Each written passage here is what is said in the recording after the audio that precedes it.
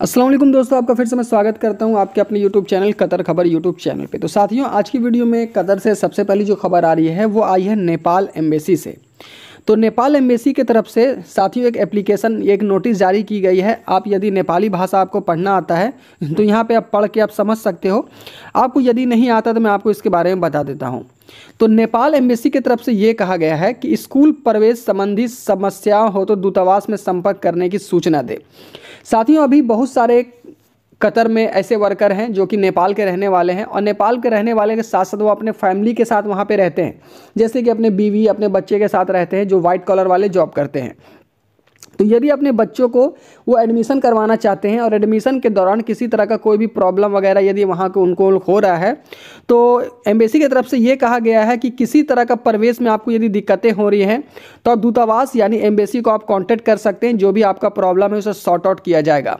तो भाइयों, आप लोग यदि नेपाल के हैं, नेपाल के वर्कर हैं, वहाँ पर काम करते हैं, अपने बच्चों को एडमिशन को लेकर किसी तरह का कोई भी प्रॉब्लम हो रहा है, शिक्षा को लेकर तो एम्बेसी में जाइए कॉन्टैक्ट कीजिए, बात कीजिए, वहाँ से आपका प्रॉब्लम का सॉल्यूशन निकाला जाएगा।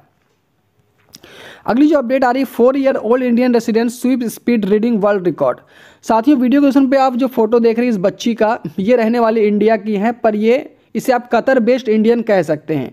तो साथियों, एक वहाँ पे रिकॉर्ड इनके तरफ़ से एक रिकॉर्ड बनाया गया है कि इतने कम उम्र में सबसे तेज किताब को पढ़ने का दोस्तों स्पीड रिकॉर्ड बनाया गया है। इसकी उम्र मात्र चार साल है old Indian resident sweep speed reading world record यानी दोस्तों रीडिंग करने में बुक में ये वर्ल्ड रिकॉर्ड बनाई है, जैसा कि आप देख सकते हैं, इनको वहाँ पे गोल्ड मेडल वगैरह से सम्मानित किया गया है। और दोस्तों, ये जिनिस बुक ऑफ़ वर्ल्ड रिकॉर्ड में इनका नाम को भी दर्ज किया गया है। अगली जो खबर आ रही है under army directive Qatari international search rescue group head of Afghanistan भाइयों, कल के वीडियो मैंने आपको बताया था कि अफ़गानिस्तान के हालात बहुत ही बिल्कुल बुरे हैं। वहाँ पे फ्लड यानी बाढ़ आया हुआ है। बाढ़ की वजह से लगभग 300 लोग जब मारे जाने की दोस्तों अब तक खबर निकल कर आ रही है। तो कतर की तरफ़ से ये कहा गया था कि कतर पूरी मदद करेगा अफ़गानिस्तान का।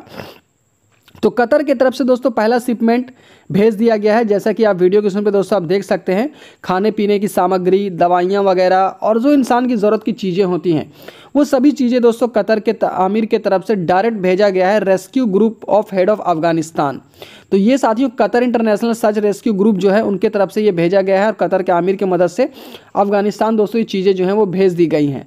बहुत सारी चीज़ें हैं, जैसा कि आप वीडियो में देख सकते हो।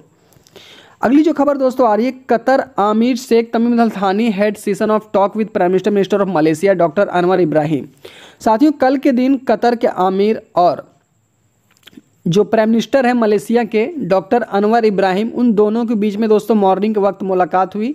मुलाकात के दौरान बहुत सारे अलग अलग मुद्दों पर बातचीत वगैरह जो है, वो की गई हैं। तो दोस्तों छोटी सी खबरें थी अपडेट्स थी जो कतर से आ रही थी। मैंने अब तक शेयर किया। मिलता हूँ साथियों नेक्स्ट वीडियो पे। जहीन अल्लाह हाफिज़ एंड टेक केयर